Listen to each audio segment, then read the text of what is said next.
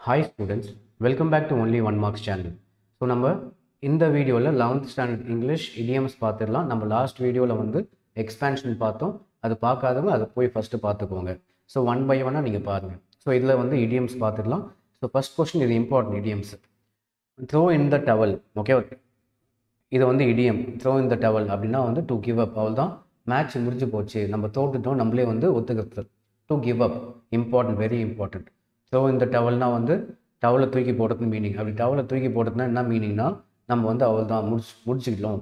நம்ம வந்து தோற்று போயிட்டோம் அப்படின்னு முடிவு பண்ணுறது ஸோ டூ கிவ் அப் அவள் தான் முடிச்சு போச்சு அப்படின்னு சொல்லிட்டு கிவ் அப் பண்ணுறோம் இன் ஆர் கார்னர் அப்படின்னா நம்ம தீர்ப்பு வந்து நம்ம சாதகமாக இருக்குது அப்படின்ற மாதிரி. On your side in an argument or dispute நம்ம பக்கமாக சாதகமாக இருக்கிறது தான் வந்து இன் ஆர் கார்னர்ஸ் ஓகேவா in or corner on the ropes அப்படின்னா எப்போ வேணால் எது வேணால் ஆகலாம்.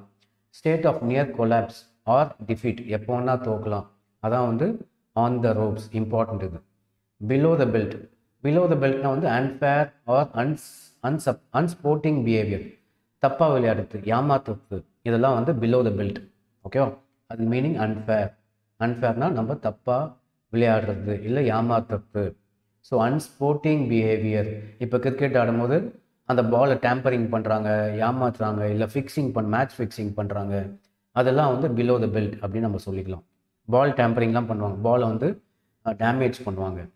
ஸோ அதெல்லாம் வந்து below the belt so unfair or unsporting behaviour square off அப்படின்னா சுற்றி வளைக்கிறது. யாரையோ சுற்றி வளைச்சு அடிக்கிறதுக்கு தயாராகிடுறீங்க சண்டைக்கு ரெடி ஆகுறீங்க. அதான் square off prepare for a conflict so சண்டேக்கு ready ஆகுறீங்க. ஸ்கொயர் ஆஃப்னா சுற்றி வளைச்சி சண்டேக்கு ரெடி ஆகுறீங்க. So prepare for a conflict tight corners அப்படின்னா டிஃபிகல்ட் சுச்சுவேஷன் நம்ம வந்து கஷ்டமான சுச்சுவேஷனில் இருக்கோம். அதான் tight corners shot his bolt அப்படின்னா ஒருத்தவனை எக்ஸாஸ்ட் பண்ண விடுறோம். அவர் டயர்ட் ஆகிடுறோம் டயர்டாக வைக்கிறோம் நம்ம. Exhaust one's effort so shot his போல்ட்னா என்ன மீனிங் ஒருத்தவனை வந்து நம்ம டயர்டாக்கி வைக்கிறோம். எக்ஸாம்பிள் வந்து இப்போ கிரிக்கெட் ஆடுறோம்னு வச்சுக்கோங்களேன். டெஸ்ட் மேட்ச் ஆடுறோம். டெஸ்ட் மேட்ச் நம்ம என்ன பண்ணுறோம் ஒரு பாலும் ஆடாமல் ஒரு பா ஃபாஸ்ட் பவுலர் இருக்கானா அவன் வந்து கஷ்டப்பட்டு ஓடி வந்து ஓடி வந்து போடுவான். ஆனால் நம்ம என்ன பண்ணுறோம் ஒரு பாலும் ஆடாமல் எல்லாத்தையும் வெல் ஆஃப் பண்ணுறோம் நீ எவ்வளோ வேணால் போடு. அப்படின்னு சொல்லிட்டு எல்லா பாலும் நம்ம விட்டுட்டே இருக்கோம் அப்போ அவனா ஆகுவான்? அவன் அப்படியே எக்ஸாஸ்ட் ஆகிடுவான் டயர்ட் ஆகிடுவான் ஸோ ஷார்டஸ்ட் போல்ட்னா ஒருத்தவன் வந்து டயர்டாக்க வைக்கிறது.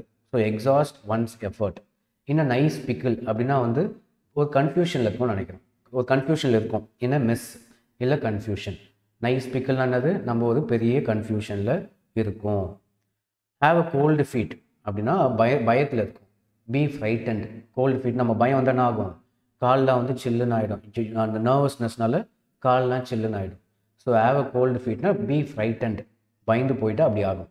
பயத்தில் இருக்கும்னு அர்த்தம். அலாம் பெல்ஸ் ரிங்கிங் அப்படின்னா sign of something going wrong நம்ம மணி அடிக்குது அப்படின்னு மணி அடிக்கிற சத்தம் கேட்குது அப்படின்னு சொல்லணும்ல எதுவும் தப்பாக நடக்க போகுது அப்படின்றது மீனிங் ஸோ அலாம் பெல்ஸ் ரிங்கிங்னா இவனுக்கு மணி அடிச்சிட்டாங்க அப்படின்னு சொல்கிறோம்ல அப்படின்னா என்ன மீனிங் ஏதோ தப்பாக நடக்க போகுது. அதான் meaning sign of something going wrong back to the wall அப்படின்னா என்ன? சீரியஸ் டிஃபிகல்ட்டி கஷ்டமான சுச்சுவேஷனில் இருக்கீங்க. பேக் டு த வால்னா என்ன? சீரியஸ் டிஃபிகல்ட்டி எதுக்கும் ஒரு வாட்டி ஆன்லைனில் செக் பண்ணிக்கலாம். இது இதை உங்கள் புக்கில் பார்த்து எழுந்தது ஆன்லைனில் நம்ம எதுக்கும் செக் பண்ணிக்கலாம். Back to the wall idiom meaning to have very serious problems அதே தான் டிஃபிகல்ட்டி தான். To have very serious problem கஷ்டமான சுச்சுவேஷன் ப்ராப்ளம் பிரச்சனை. ஓகே பேக் டு த வால்னா பிரச்சனை. கிராஸ் இல்லை clutch at straws try any method to overcome a crisis so grasp clutch at ஸ்ட்ராஸ்ன்னு சொல்கிறாங்க ரெண்டுத்துல ஏதாவது ஒன்று அப்படின்னா அதான் கிராஸ் பட் ஸ்ட்ராஸ் இல்லை கிளச் அட் ஸ்ட்ராஸ் அப்படின்னா எதையாவது பிடிச்சி நீ மேலே வா அப்படின்றாங்க. ஸோ கிராஸ் பட் ஸ்ட்ராஸ் இல்லை கிளச் அட் ஸ்ட்ராஸ்னா மீனிங் எதையாவது பிடிச்சி நம்ம மேலே வரணும். க்ரைசிஸில் இருந்து க்ரைசிஸ்னால் டிஃபிகல்ட் சுச்சுவேஷன்லேருந்து நம்ம மேலே வரணும். அதான் அதுக்கு meaning saved by the bell அப்படின்னா லாஸ்ட் மினிட்ல நம்ம எஸ்கேப் ஆகிட்டோம் saved by the பெல்னா help at the last moment rescuing one from a difficult situation so saved by the பெல்னா அவன் லாஸ்ட் டிஃபிகல்ட் சுச்சுவேஷன் கடைசியாக போய் அவனை காப்பாற்றி விட்றோம் அதான் saved by the bell hang out to dry hang out to ட்ரைனா ஒருத்தவனை வந்து கஷ்டமான சுச்சுவேஷன் அப்படியே கைவிட அப்படியே விட்டுறோம் எப்படியா சாவிட அப்படின்னு சொல்லிட்டு விட்டுறோம் abandoning one who is in difficulty so hang out to ட்ரைனா ஒருத்தவன் வந்து கஷ்டத்தில் இருந்தானா அவனை அப்படியாவது நீ ஏதாவது பண்ணிட்டு போ அப்படின்னு சொல்லிட்டு நம்ம கண்டுக்காமல் விட்டுறது பேர் தான் வந்து ஹேங் அவுட் டு ட்ரை கொஞ்சம் கூட ஹெல்ப்பே பண்ணாமல் so abandoning one ooze in difficulty அபேண்டனிங்னா வந்து கண்டுக்காமல் விட்டுறது கைவிடப்பட்டது கண்டுக்காமல் விட்டுரும். By the skin of one's teeth அப்படின்னா narrow escape just miss அப்படின்றோம்ல. By the skin of one's டீத்னா just miss narrow escape escape ஆகிடும் ஸோ நெக்ஸ்ட் இதான் இம்பார்ட்டன்ட் இப்போ பார்த்தது எல்லாமே இம்பார்ட்டண்ட் கன்ஃபார்மாக உங்கள் பப்ளிக் எக்ஸாமில் இதுலேருந்து ஏதாவது ஒன்று இருக்கும். அடிஷ்னலாக கொஞ்சம் பார்த்துக்கலாம். இதுவும் இருக்குது காட் இரிட்டேட்டடுக்கு வந்து நம்ம இடியம்ஸ் என்ன யூஸ் பண்ணலாம் அப்படின்னு கேட்டிருக்காங்க. என்ன இடியம் யூஸ் பண்ணலாம்னா drive one up the wall வெறுப்பாயிடுச்சுன்னா அதுக்கு என்ன நம்ம என்ன சொல்லலாம்? ட்ரை ஒன் அப் த வால் வால் ஞாபகம் வச்சுக்கணும் வெறு காட் இரிட்டேட்டட்னா நீங்கள் என்ன ஞாபகம் வச்சுக்கணும்? இந்த வால் ஞாபகம் வச்சுக்கோங்க. ட்ரை எல்லாத்துக்கும் ஆப்ஷன் கொடுப்பாங்க. ஆப்ஷன் இல்லாமல் வராது. ஸோ ட்ரை ஒன் நம்மளா ஓனர் எழுதலாம் எழுதலாம் சொல்ல மாட்டாங்க. கீழே நாலு ஆப்ஷன் கொடுப்பாங்க. So try one up the wall next இந்த கொஷின் பார்த்தீங்கன்னா second one we began the journey again அதுக்கு நம்ம என்ன போடலாம்? ஹிட் த ரோட் அப்படின்னு போடலாம்.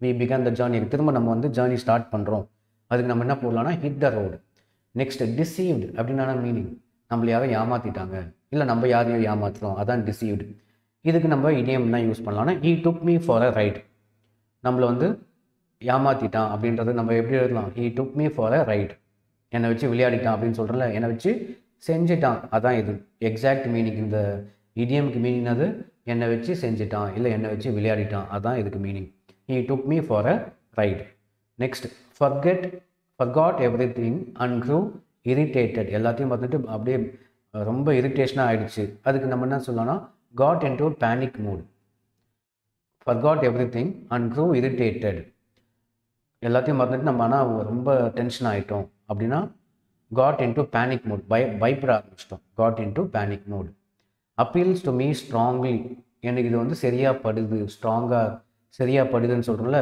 is right up to my alley அது நம்ம என்ன எழுதலாம்? I love thrillers and this book appeals to me strongly அந்த புக் வந்து எனக்கு சரியாக படுது அப்படின்றதுக்கு நம்ம எப்படி எழுதலாம்னா is right up to my alley என்ன எழுதலாம்? Is right up to my alley so அவ்வளோதான் இது வந்து இடியம்ஸ் அண்ட் ஃப்ரேசஸ் இதுலேருந்து ஏதாவது வந்து உங்கள் பப்ளிக் எக்ஸாமில் வந்துடும். ஸோ நம்ம நெக்ஸ்ட் வீடியோவில் இதே மாதிரி நெக்ஸ்ட் செக்ஷன் பார்த்துடலாம். உங்களுக்கு யூஸ்ஃபுல்லாக இருந்தால் உங்கள் ஃப்ரெண்ட்ஸுக்கெலாம் ஷேர் பண்ணுங்கள் லைக் பண்ணுங்கள் கீழே கமெண்ட்டும் பண்ணுங்கள் ஸோ தேங்க்ஸ் ஃபார் வாட்சிங்